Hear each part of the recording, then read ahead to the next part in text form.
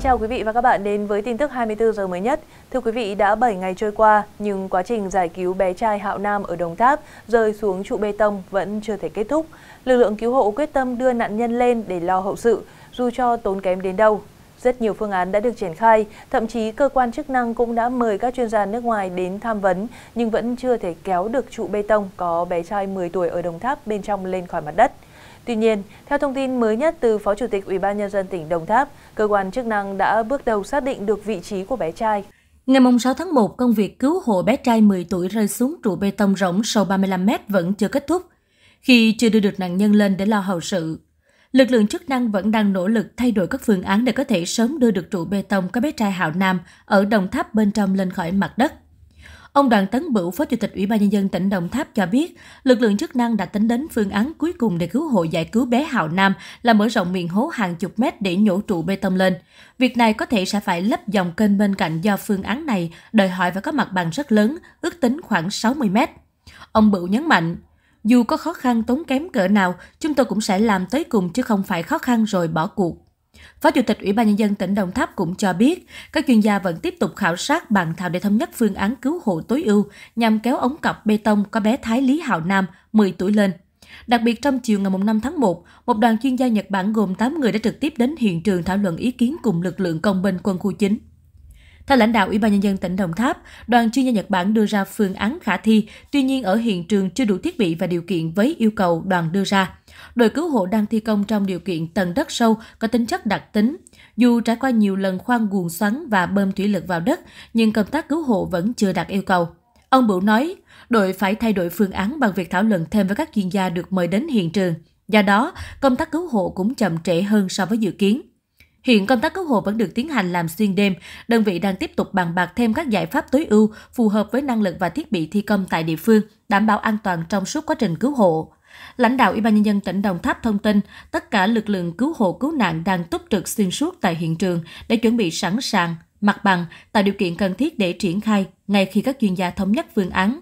Ông Đoàn Tấn Bửu cho biết, sau khi kéo đoạn ống đầu tiên lên, sẽ tiếp cận đến đoạn ống tiếp theo. Ông Bửu cũng thông tin, khi thiết bị được thả xuống độ sâu 30 mét của ống cọc bê tông, có phát hiện khối đất nghi cháu nam bên trong, tuy nhiên khối đá nặng nén quá chặt nên đơn vị chưa đưa lên được.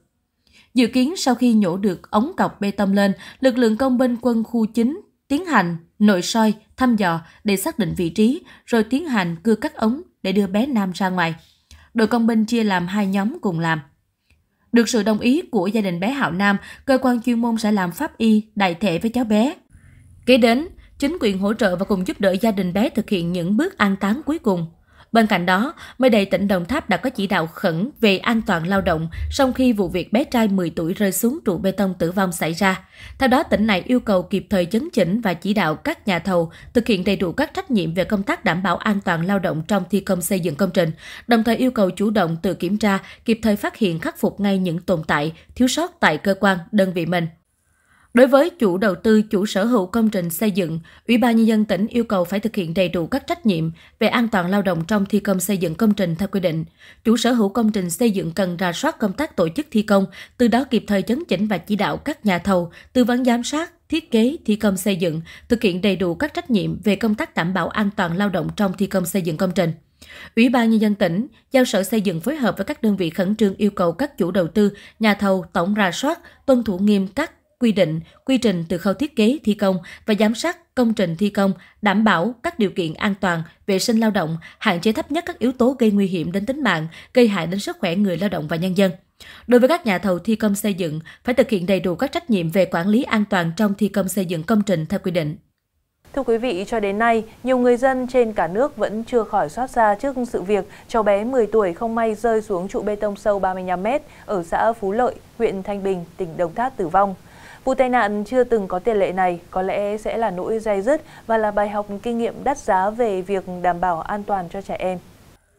Thông tin về bé trai 10 tuổi rơi xuống trụ bê tông có độ sâu 35 mét đã trở thành thông tin nóng được cập nhật liên tục trên hầu hết các trang tin tức. Vụ việc còn xót xa hơn khi đã 7 ngày trôi qua, trụ bê tông vẫn chưa thể nhấc lên, bé trai vẫn còn bên dưới lòng đất. Rất nhiều ý kiến xoay quanh vụ việc cũng như tiến độ giải cứu cháu bé. Song, như lãnh đạo tỉnh Đồng Tháp nhìn nhận, đây là sự cố hy hữu chưa có tiền lệ, gắn với nhiều yếu tố khách quan và chủ quan. Trung tá Trần Văn Giỏi, Phó đội trưởng đội công tác cứu hộ, chữa cháy và cứu nạn cứu hộ, Phòng Cảnh sát phòng cháy chữa cháy và cứu nạn cứu hộ Công an tỉnh Đồng Tháp cho biết, khi tiếp cận hiện trường có nhiều phương án đặt ra, trong đó có việc thả dây chuyên dụng xuống cọc bê tông cá bé lên. Thế nhưng đường kính cọc bê tông quá nhỏ, nạn nhân bị kẹt cứng và nhân viên cứu hộ không thể tiếp cận được để luồn dây qua người nên không thể thực hiện phương án này. Dư luận thắc mắc, tại sao một đứa bé 10 tuổi lại có thể rơi xuống trụ bê tông có đường kính nhỏ như thế? Đó là một câu chuyện không thể xảy ra. Nhưng camera công trường cầu Rọc Sen cho thấy sự thật đã diễn ra. Cháu bé 10 tuổi chỉ nặng hơn 20 kg đã rơi xuống cọc bê tông sâu 35 mét. Rất nhiều phương án giải pháp được lực lượng chức năng sử dụng nhằm rút ngắn thời gian giải cứu cháu bé lên mặt đất nhưng vẫn không thành.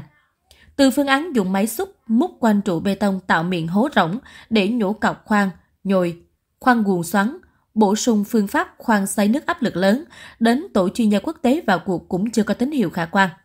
Ông Đoàn Tấn Bửu, Phó Chủ tịch Ủy ban Nhân dân tỉnh Đồng Tháp cho biết, đối với ống cọc bê tông xuyên thấu 35 m ở tầng đất sét và xung quanh có những ống cọc đã nén trước nên độ nén rất lớn, rất khó khăn trong việc nhổ cọc lên.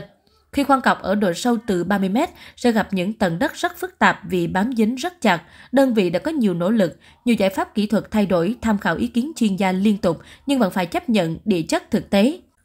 Tại khu vực xảy ra tai nạn ở Phú Lợi, theo nhiều người dân địa phương, trong quá trình thi công đơn vị thi công có dàn dây xung quanh công trường, nhưng do nơi làm cầu nằm sát lộ và cạnh ruộng của người dân nên thỉnh thoảng một vài người làm ruộng, trẻ em vào công trường là chuyện không thể ngờ. Xuyên suốt túc trực ngày đêm tại hiện trường, ông Đoàn Tấn Bửu, Phó Chủ tịch Ủy ban nhân dân tỉnh Đồng Tháp cho biết, lực lượng vẫn đang nỗ lực tìm cháu bé về với cha mẹ và cùng gia đình lo hậu sự. Địa phương đã có đề xuất phương án hỗ trợ cho gia đình vượt qua mất mát, có công ăn việc làm, sớm ổn định cuộc sống. Ông Bửu cho biết, chúng tôi mong muốn nhận được những ý kiến đóng góp về các giải pháp kỹ thuật để cứu hộ em bé, làm thế nào để rút ngắn, tiến tới hoàn thành công việc khó khăn này.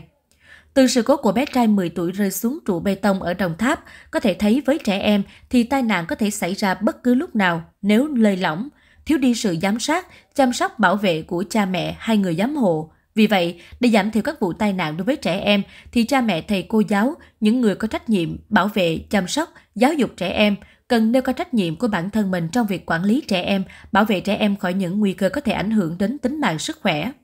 Thưa quý vị, sự cố trên của bé Hạo Nam chính là hồi chuông cảnh báo rằng người lớn cần chú ý hơn nữa đến con trẻ, cần chỉ dạy cho con biết các khu vực nguy hiểm tuyệt đối không được đến gần. Mong rằng trong tương lai sẽ không còn sự việc thương tâm tương tự nào xảy ra. Những thông tin mới nhất liên quan tới vụ việc sẽ được chúng tôi liên tục cập nhật. Còn bây giờ xin kính chào tạm biệt và hẹn gặp lại.